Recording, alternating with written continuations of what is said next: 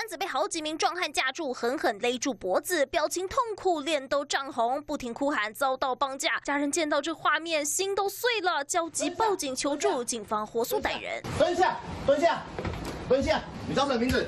身上有没有什么东西？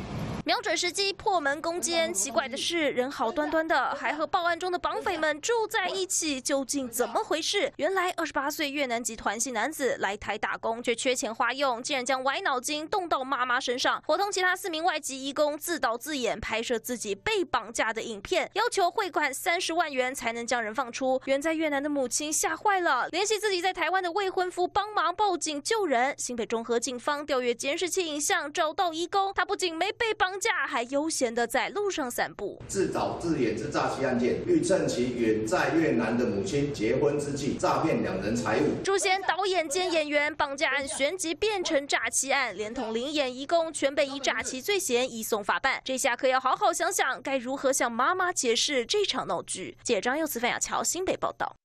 我是方艳迪，主播工作让我学习倾听所有人的意见，也要保留自己的判断。也许我们无法踏遍所有土地，但能从新闻里看尽每一道风景。我是方艳迪，请您锁定中视 YouTube 频道，记得要按赞、订阅、分享，开启小铃铛哦。